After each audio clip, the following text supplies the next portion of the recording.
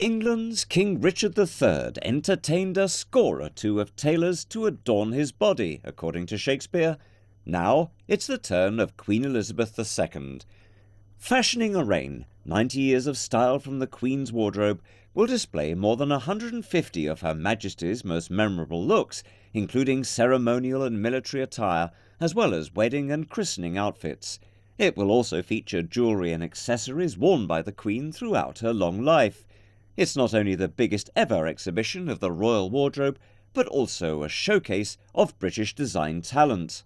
Her Majesty the Queen's support of British design is a very important theme that we see throughout the exhibition, and it includes examples made by all the different designers who have worked for the Queen from the 1940s right up to the present day.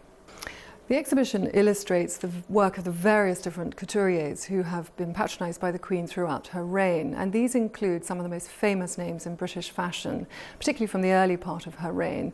Names such as Norman Hartnell, the famous British couturier, whose signature styles formed such a fundamental part of the Queen's wardrobe. And we see this in the wonderful crinoline state evening gowns on display here, which are also referenced in the works on paper, the fashion sketches that we're also showing. And so it gives visitors visitors the opportunity to really understand the design process and the relationship between the Queen and her designers.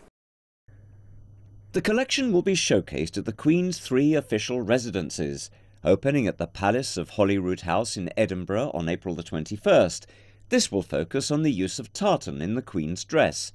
The two other exhibitions, opening at Buckingham Palace in August and Windsor Castle in September, will provide a more generalised look at royal couture worn at state and private functions. Abdiel Leroy, CCTV.